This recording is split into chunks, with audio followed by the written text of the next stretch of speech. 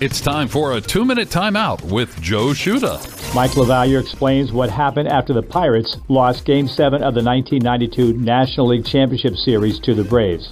Well, the nearest thing that I've seen the movie Saving Private Ryan at the end when the bombs are going off and Tom Hanks sees all this stuff going around but can't really hear anything. Then it, all of a sudden, then you get the noise. Uh, like myself, I was numb that a bomb had been dropped on us. I remember going into the locker room and it was so numbing that I couldn't even talk. You know, that came later for an hour. It's like I never heard anybody talk. I don't know about really anything that took place right after that.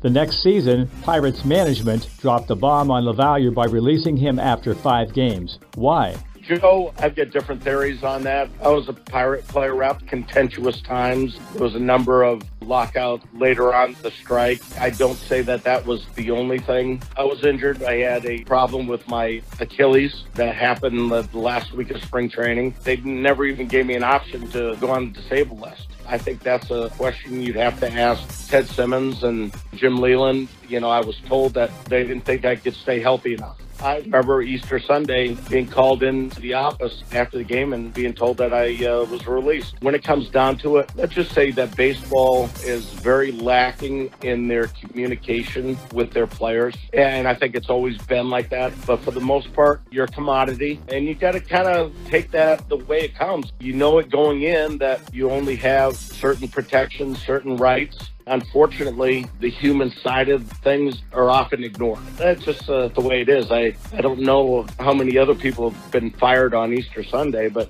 you know, I can raise my hand for that. I mean, it's absolutely terrible. I'm Joe Shuta with this two minute timeout.